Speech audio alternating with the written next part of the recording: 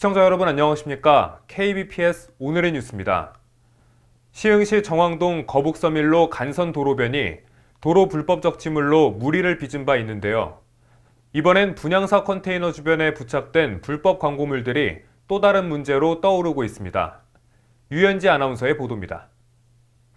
시흥시 정왕동 거북서밀로 간선도로변은 도로 불법 적치물로 무리를 빚었던 것에 이어 이번엔 도로변에 있는 불법 광고물과 건축물의 안전조치가 허술한 것이 또 다른 문제점으로 드러났습니다. 자세한 현장 소식 들려드리겠습니다. 시흥시 정왕동 거북서밀로 간선도로변은 지난번 도로 불법 적치물로 무리를 빚은 데 이어 이번엔 분양사들의 컨테이너 주변에 부착한 불법 광고물들이 또 다른 문제점으로 지적되고 있습니다. 또한 이렇게 보시다시피 도로를 점령한 컨테이너 때문에 시민들은 통행에 큰 불편을 겪고 있습니다.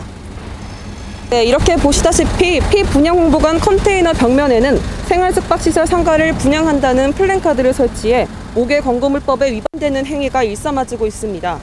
또한 뿐만 아니라 보시다시피 산소통 또한 인도에 적치되어 있어 인도를 오가는 시민들의 안전에 큰 위협을 가하고 있습니다. 또 다른 간선도로변도 비슷한 불법 광고물이 난립하고 있으나 단속을 외면하고 있습니다.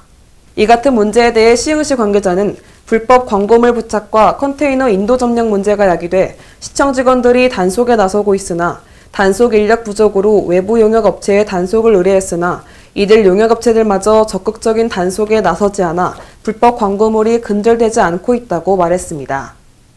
시흥시 관계자는 또 도로를 컨테이너로 막은 것도 위법 행위이며 컨테이너에 부착된 광고물은 5개 광고물로 분류되는 불법 광고물로 저촉돼 불법 광고물이 근절될 때까지 계속해서 단속에 나서겠다고 전했습니다. 지금까지 KBPS 유현지입니다.